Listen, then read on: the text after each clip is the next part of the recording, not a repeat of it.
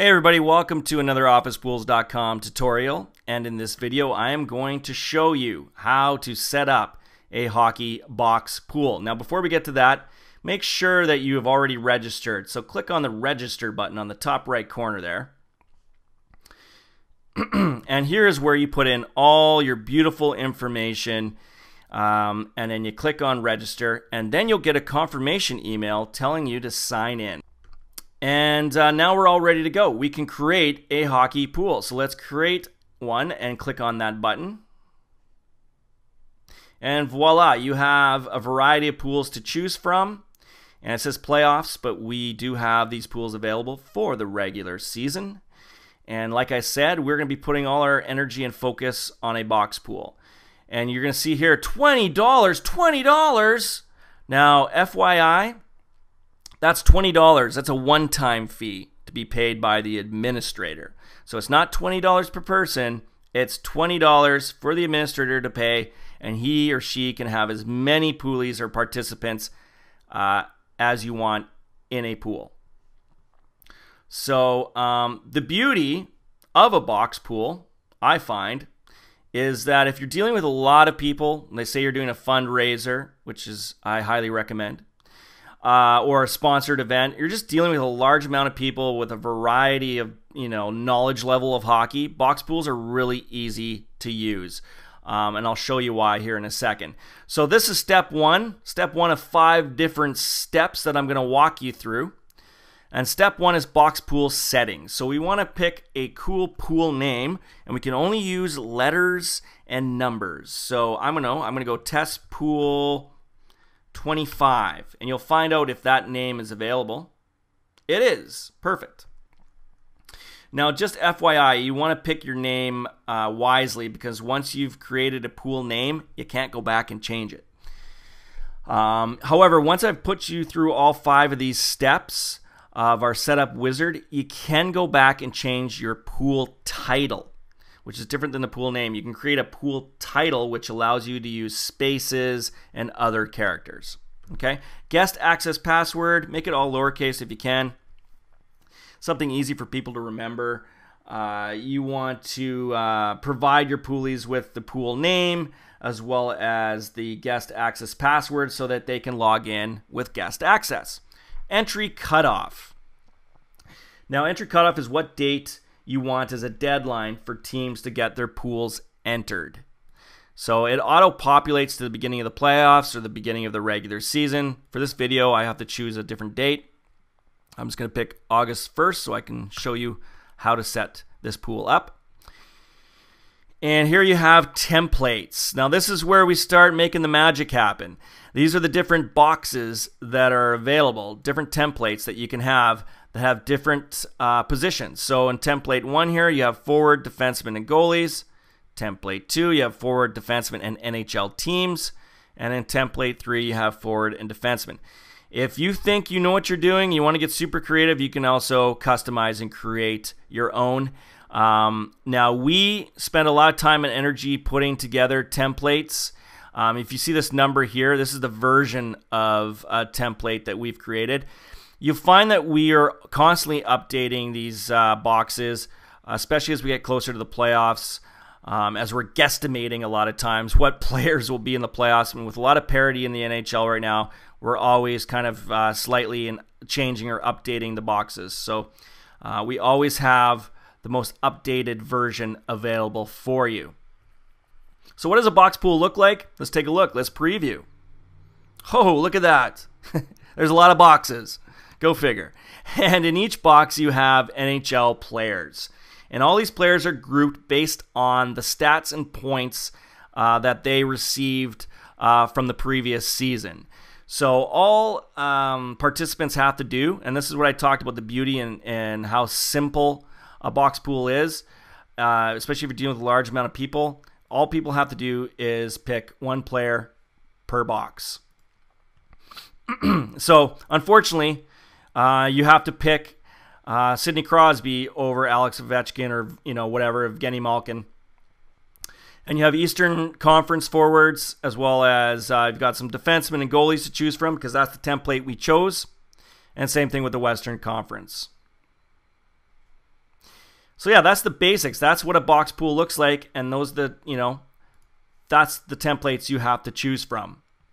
So once you've kind of got this step one all uh, you know uh, set up, uh, there are advanced things you can do as well, but I'd recommend just keeping it simple and uh, move on to how you want your pool to be scored. So hit save and continue, and I will walk you through step two, scoring. All right, welcome to step two, scoring. This is how you set up uh, the scoring system for your box pool. And right now, everything's kind of set to standard, uh, where you get one point for a goal, one point for assist. Same thing with defensemen. With goalies, it's one point for a win, one point for a shutout. Now, you can have a little bit of fun with this and when you hit expand, boom, you can customize this to however you want. You can have maybe two points for a goal, or you can have uh, bonus points for a power play goal, or a game winning goal, or, you know, hat tricks. Whatever you want. You name it, we got it. And the same thing goes with, with goalies. Uh, maybe you want 25 points or 50 points if a goalie scores a goal because it doesn't happen very often. Um, so as you can see, you can set bonus points however you want. Now, one thing you want to keep in mind is something called the dropped lowest rule. This comes in handy if poolies have players who are injured on the roster. Maybe there's some players that are underperforming. Um, basically, this feature can reduce the impact of those types of players, and it kind of helps narrow the point spread, adds a little bit of parity to the standings. Um, so with the drop lowest, you can decide you want the drop lowest of maybe just the the one player or two players on each team. Um, you can you can set that to how you want it and uh, customize and edit to whatever meets your needs. Another thing to think about is a tiebreaker. Uh, I find with box pools that there's a lot of ties. So if you click on this, use most goals as a tiebreaker. I think that's you know fairly uh, self-explanatory. Um, you know, the team with the higher number of goals will be ranked higher in the standings. Um, another thing about scoring is you can kind of customize scoring uh, by position as well. Um, say in your box pool you want to have a box of you know goons, guys who you know get a lot of penalty minutes, and you want to have set points for enforcer type players. This is where you can do that here. Same thing with rookies. You can expand and, and make uh, a separate category or box for rookies and have customized scoring for them. Um, so I won't get too much into that, but when we go to the next step, uh, which is the template editor, you can um, edit boxes and uh, apply these custom scoring um, categories uh, to those boxes if you want to, but it's something to think about. All right, so when you have all that done, we're going to move on to step three, which is the roster, the template editor. So just hit save and we'll move on to step three. All right, welcome to step three of our box pool creation. And it's the template editor. This is where all the magic happens. This is where you can get super creative. And uh, know, it's also fairly uh, easy to use, self-explanatory. Uh, you can change the name of each box. You can edit the players that are in each box. Um, this is where you can implement uh, your specialized scoring. If you remember, we had um, you could customize forwards, defensemen, goalies. We even had the option of um, customized scoring for rookies and forcers. If we had done that, you would see them on this drop-down menu as well. And uh, like I said, you can change the box name. Right now we have Eastern Conference forwards, and voila, there are our Eastern Conference forwards. And uh, say we had customized points for forwards, like an extra point for a power play goal, uh, hat trick, whatnot. This is where you want to select that to make sure that these guys get the points that they deserve. Now, we had it set actually at uh, one selection per box for your poolies, and you could change it to two. You could change it to, to whatever you want. One or two is usually pretty good. Now, say you're looking at this box and you're like, oh, you know, yeah, these guys all had, you know, good seasons. They probably all deserve to be in this, uh, in this, in this box here. Uh, maybe you just don't like Brad Marchand. You say, no, forget him. you can delete him. You can add somebody else at add choice here. Maybe instead of Brad Marchand, you go with Matthew Tkachuk. Good selection. And there, there you go. So like I said, you can just edit and add guys you, that you want.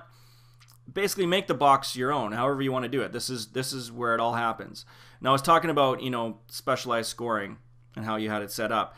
Right now we have it on forwards, and in this box pool we had defense and goalies. So we can set our customized scoring to defense if we had specialty points for defensemen. Same thing with goalies. We could set it to goalies or default, however, however we had our scoring set up. So, like I said, pretty easy to figure this out. Um, you know, it's Eastern Conference, and then the Western Conference is down here.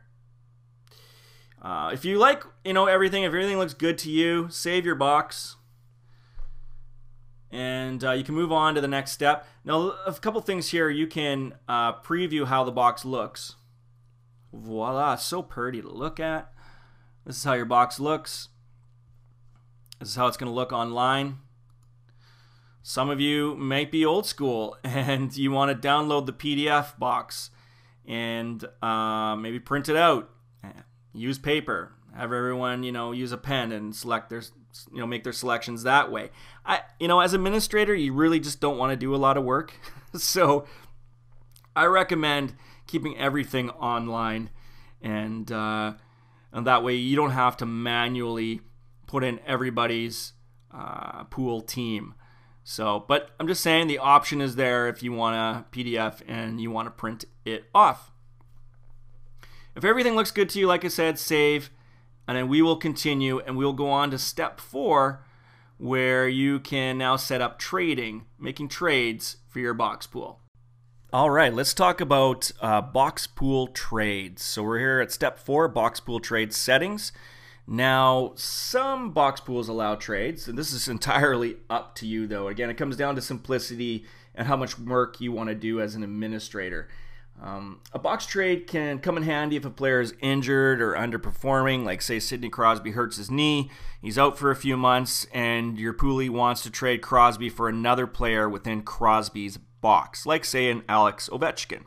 So by allowing box pool trades, you're allowing your poolies to trade uh, players within their same box. So there's different ways you can go about this. You can be the all controlling one. You can approve all trades as administrator, they all have to go through you, or you can set it up where it happens automatically. So you click on this drop down menu here, and you can have trades that are approved on a daily, weekly, monthly, season, custom, however you want it, basis.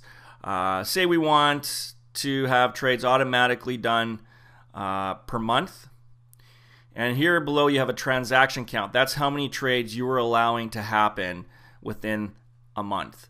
So we can have it as one, two, three, four, whatever you want. So right now we have it set where poolies are allowed one uh, trade or transaction per month. And again, it's entirely up to you and how you want to do it. If you want to have all control, again, all trades will go through you with this option. Um, so another little thing to keep in mind is show pending trades and trade history. Right now it's off. So what, what this means is that pending trades won't show up in trade history.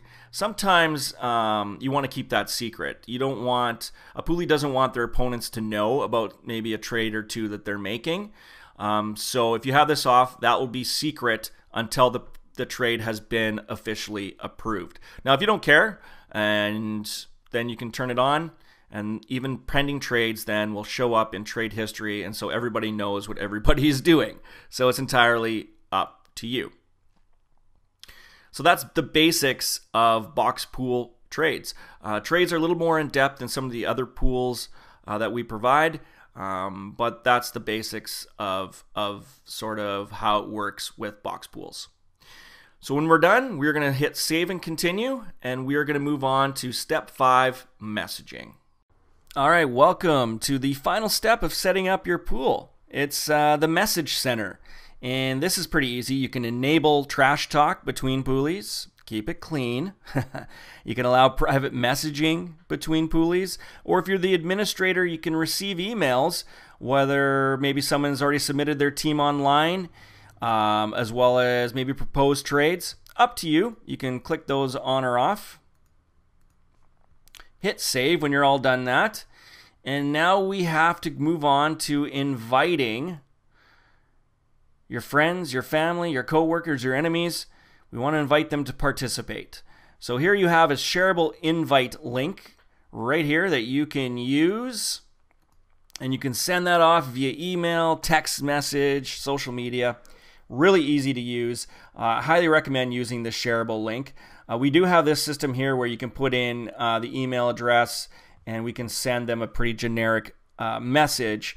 Um, I don't know. Most people like to use the invite link. I recommend it.